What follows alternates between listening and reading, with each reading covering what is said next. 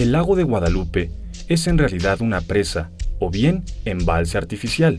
Es el segundo cuerpo de agua más importante del Valle de México.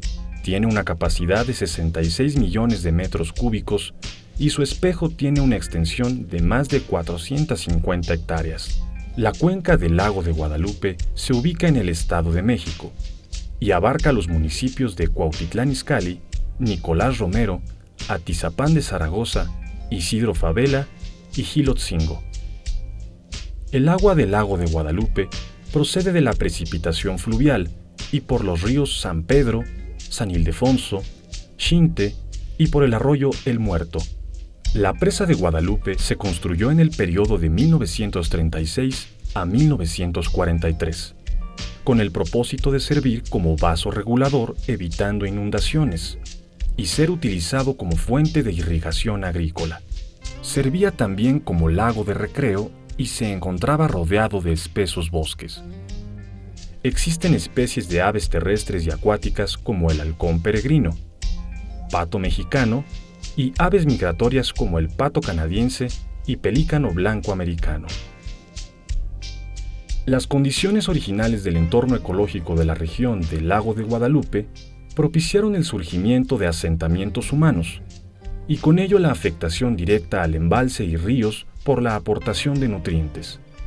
En la década de los 60 se empezaron a crear alrededor del lago fraccionamientos residenciales, con una tala indiscriminada de árboles.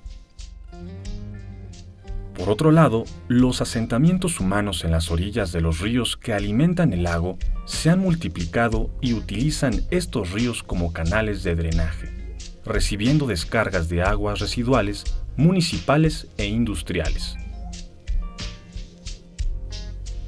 El estado de la presa de Guadalupe para el año de 1991 era totalmente inhóspito debido a la eutroficación acelerada por la cantidad de aguas residuales, razón por la que se cubrió casi en su totalidad por lirio acuático y otras malezas.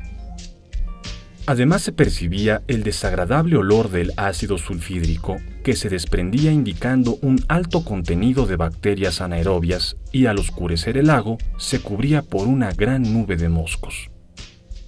El deterioro de la presa constituía un serio problema de desequilibrio ambiental que afectó directamente al desarrollo social, agrícola, económico y de salud de poblaciones de su cuenca. Lamentablemente el desarrollo urbano desorganizado, la corrupción de las autoridades ecológicas, la falta de leyes claras que castiguen a las personas que atentan contra la naturaleza han colocado esta zona en desastre ecológico al convertirse en un depósito de aguas negras.